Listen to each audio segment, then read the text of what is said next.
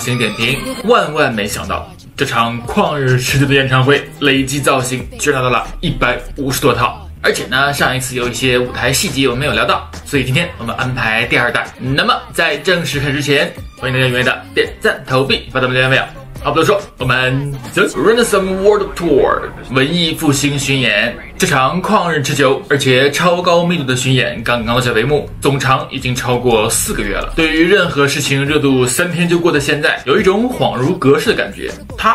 怎么还在唱？体力惊人，毅力惊人，这钱就该他赚。或者远的不说，近的有蔡依林，有张惠妹，大家办演唱会都很用心。所以不知道为什么有人好意思去干合体彩排一周就上台呢？Anyway，今天想聊的衣服和造型有一点多，我呢尽量挑一些有特色的、值得展开的。Beyonce Queen B，自然少不了蜜蜂装。上一期讲过 Mugler，这次还有 Dolce Gabbana，还有 Balmain。Balmain 这一件，我在某书上刷到过一位在品牌工作室工作的中国设计师透露的一些设计细节。当时他收到的指令就是 B Queen B，所以尝试过蜜蜂纹路，觉得太死板太无趣，于是又尝试和爬行动物进行结合。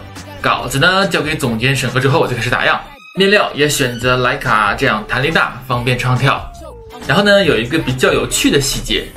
Beyonce 本人显然是没有时间去世界各地所有品牌去试衣服的，所以她有一个专属的试衣替身，不但三维一样，据说长得也非常神似。这件样衣做出来之后，试衣替身室发现尺寸大了很多。当时这位设计师朋友就第一时间怀疑是不是版师出了错，可是版师一般不会犯这么低级的错误。结果发现是巡演开始之后，Beyonce 她瘦了好多，而试衣替身为了保持一致，也要随时跟着瘦，跟着胖。下一件值得说的，这件蓝色裙子来自 Brandon Blackwood，材质是这两年比较流行的一个新的面料，很多人叫它液态金属。面料里其实含有大量的高温丝，所以它的反光光泽特别特殊，像果冻 jelly 一样。Beyonce 的身材虽然我不这么觉得，但对于主流东亚审美来说依然比较胖，但是人种的优势让她的身材比例非常好。侧边开叉，直接开到胯上，这也是拉高比的一个常用做法。去主页看一下这个品牌，品牌本身是皮具起家，皮具设计的一般，比较没有惊喜。接下来这一件宝蓝色的裙子来自于 Roxanda 真小众设计师，她的服装和她的应用艺术、建筑设计背景有关，所以她的体积感也不是常见的大蓬裙或者是大廓形的大衣。它用类似游泳池里边有氧操经常用那种悬浮棍来做支撑，在穿过面料的同时产生褶皱的堆积，有体积但不沉重，非常有漂浮感。我喜欢这一件，是因为这是一个事半功倍的设计手法。比起十层纱，比起一百米的料子，它对于体积的理解和面料的处理方式还是非常新颖的。Next one，McQueen，红色珠绣裙。McQueen 在活着的时候，我就很难在他和 John Galliano 之间进行一个二选一，因为实在是挑不出 Who's my favorite。McQueen 去世之后，Sarah 上位。做的也非常好，不过 Sarah 显然不是一个内心绝望的人，尤其是经过相当长的一段时间进行一个长线发展之后，最近几年的设计显然没有 McQueen 当年那么前卫，那么具有实验性，那么具有冲击力了。女性设计师的视角显然要比男性设计师要柔柔和很多。这一件红色的珠绣裙子，我却突然有了那种 tremendous romantic sadness，有一种巨大的扑面而来的浪漫忧伤。而且呢，负责设计这件裙子的也是某刻设计部一位非常年。轻的中国设计师，把马奎那种童年受过创伤、精神世界并不完整的破碎感表现得非常好。然后这一件老米仙子也穿过，演唱会为了方便行动改成了一个短版。下面一件。黑色木耳，这件来自这两年也很火的香港设计师 Robert Wan 云微俊。他最近常常给各种明星做演唱会造型，很多人可能是通过蔡徐坤、谷爱凌、易烊千玺知道的。他在做高定之前，成衣系列我就有关注到，可以说是最爱使用打折板的设计师。他把平整的面料用打折板处理之后，再利用褶皱的自然流动感来做出不同的形态。不知道这个品牌什么时候会发布下一季高定系列，非常期待。Diesel Diesel 做了两件，这个非常老牌的意大利牛仔品牌是一个中低端的定位，但是已经很多年都不温不火了。当时换设计师的时候，第一时间我就做了秀场解析，而且当时为这位设计总监做了一个三部曲，个人品牌 Viso 包括后面给 Jean Paul Gaultier 的高定系列。而且我当时预言，创意总监 Glenn Martins，他绝对是2022年年度设计师，并且大胆预言 Diesel 一定会火。最近这几季市场反馈也的确非常好。然后这两天我还去看了设计师个人品牌 Y Project 的秀，这场秀回头讲啊，真的是看到牛内。Diesel 这两件定制，一件废土，一件闪钻，然后都把 bodysuit 穿在了连身装之外，比例抓得非常准。尤其是配合专属的鼓风机，每次看 Beyonce 的舞台都觉得大姐，咱们都这个歌坛地位了，居然还这么卖力，真的非常敬业。作为最会使用头发的变态女歌手，Beyonce 贡献了非常多神级现场，而同时作为时尚区发型最好看、头发最多的博主，哼哼哼，让各位小伙伴能有像我一样这么美的头发。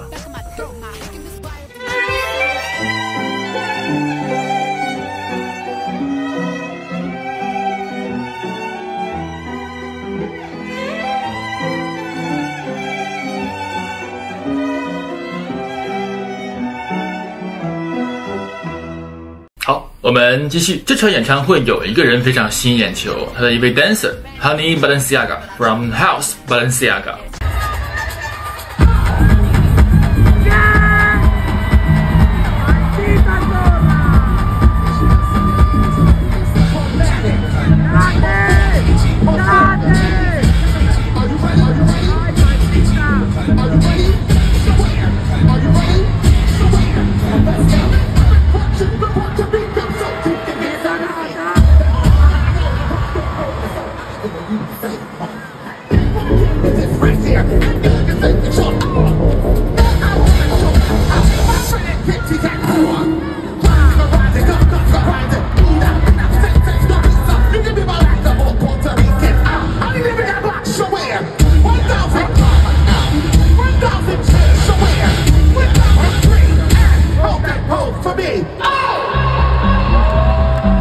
这张专辑这次巡演大量采用了八九十年代纽约的 ballroom 文化，还有 Vogue。简单来说，就是一群生活在八九十年代纽约的 transgender，为了短暂的逃离现实而自发组织的一种舞会活动。关于什么是 house，什么是 mother，什么是 category，什么是 Vogue，什么是 duck walk，感兴趣的可以去看 Miller 那期，介绍的比较完整。所以演唱会上这一段过桥，每位 dancer 在 solo 之前都会有 category is，you know what I'm talking about。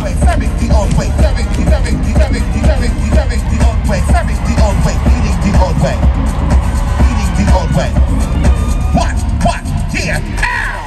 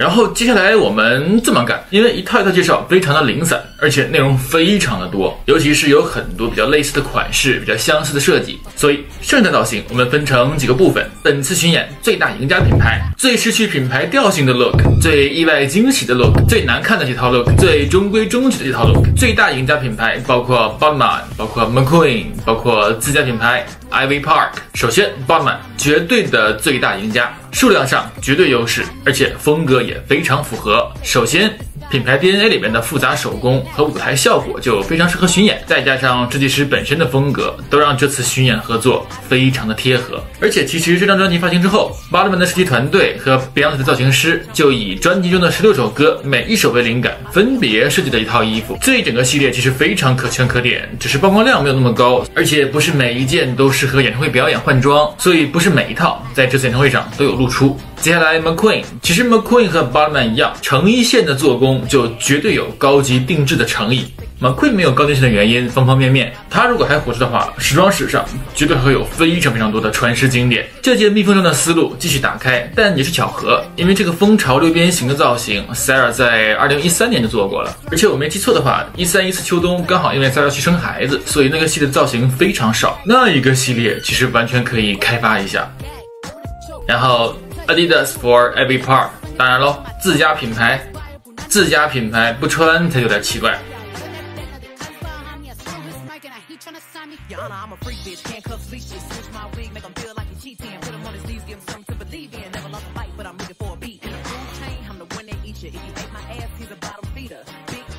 下一部分最失去品牌调性的 look，这一组不是说难看，也不是说不合适，而是很多设计如果遮住那个名字，连猜五次都猜不到到底是谁做的。因为这些造型既没有品牌的标志性设计，也不符合品牌的一贯风格，主打一个陪伴和衬托。举几个例子。这件是 Boss，你们敢相信？我记中的 Boss 一直都是高性价比的商务男装，所以这件银色大垫肩完全想不到会是 Boss。然后米兰时装周二四春夏的秀，大家可以看一下，真的是意外惊喜，诚意拉满，整个转型转得非常成功，非常好看。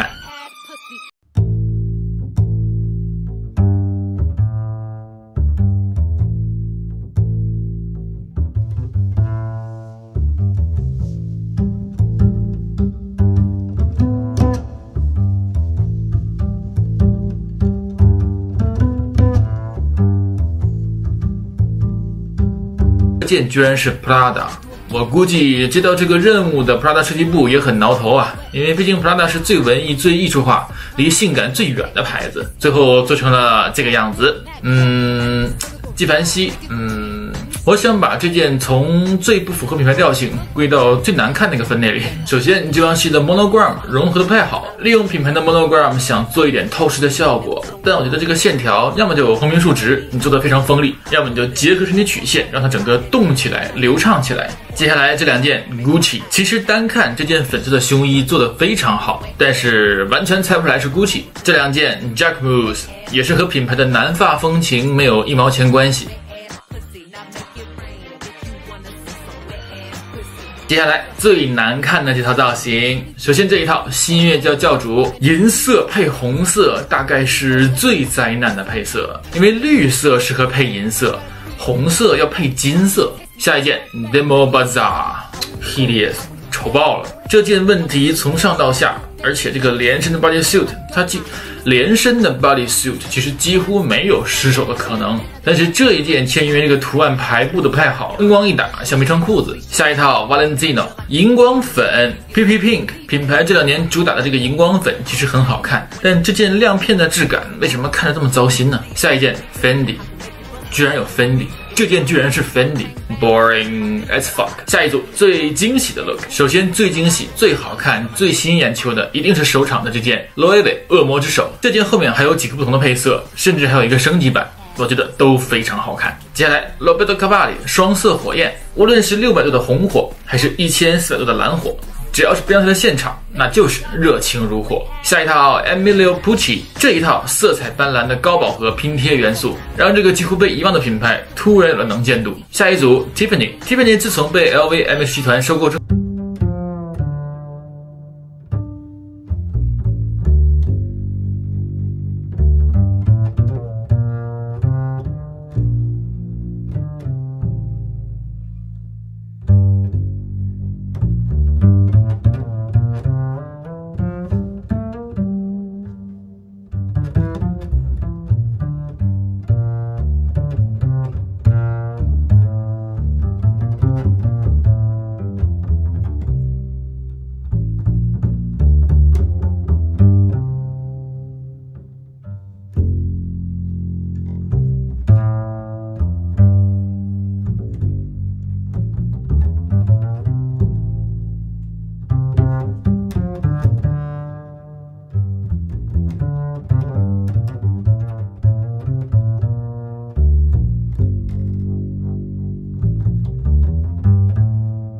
America Trent Zoo。我非常喜欢这个刺绣的细节处理，而且配合帽子大神 Stephen Jones，的帽子就是整个人看起来是一只香水瓶。最后一组，当然演唱会一定也少不了中规中矩的大礼服，无论是 Elisab，还是 George h o b e c a 还是 Tamara Roth，还是纪梵希 Ferragamo。全部都是好看的大礼服，不分彼此的大礼服，换个标签都成立的大礼服。其实大礼服 evening gown 并不是原罪，我也并不讨厌大礼服。其实有很多场合就是需要这种非常规矩的、非常标准的大礼服。我只是不喜欢很多年轻的偶像穿了一件大礼服就说自己多么时尚，这个两回事儿啊。关于这场演唱会，关于这张专辑，尤其是这两句歌词。I'm looking for motivation. I'm looking for a new foundation. I am on that new vibration. I'm building my own foundation. 用非常明确的内驱力来寻找自我价值。Beyonce 是绝对意义上的大众流行地吧？这张专辑采用小众包围大众的模式，从 ballroom、从 club 呃各种电子 house 里边吸取很多不一样的灵感。而演唱会表演，除了我前面提到的一点 vogue，还有很多典型的亚文化元素融入其中。让整场表演看起来更多元、更纯粹、更野。Beyonce 的巡演，无论是曲目安排还是现场表演，一直都是当之无愧的顶级的视觉盛宴。而且这一次，我觉得串场极其连贯，就像当初专辑刚发的时候听音频，它是没有起始、没有结尾，一气呵成、目不暇接的，而且是一种纯粹的感官放纵。